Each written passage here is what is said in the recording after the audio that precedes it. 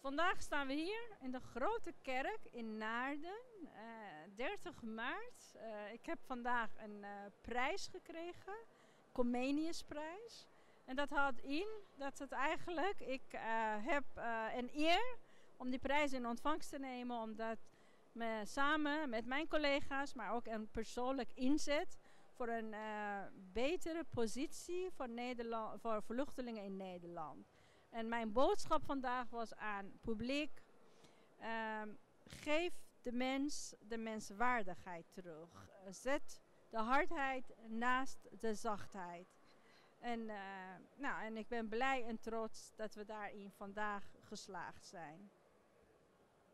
Uh, mijn naam is Maartjan Serali. Ik ben directeur-bestuurder van de Stichting Vluchtelingenstudent, het UAF. Het is een organisatie die vluchtelingen die naar Nederland komen financieel begeleidt, maar ook uh, inhoudelijk om hoe ze succes kunnen maken van hun eigen traject. Ze dragen enorm veel kennis, ervaring en talent met zich mee. We helpen ze gewoon hier weer verzilveren. Dat is wat ik ben, maar ook wat het UAF doet.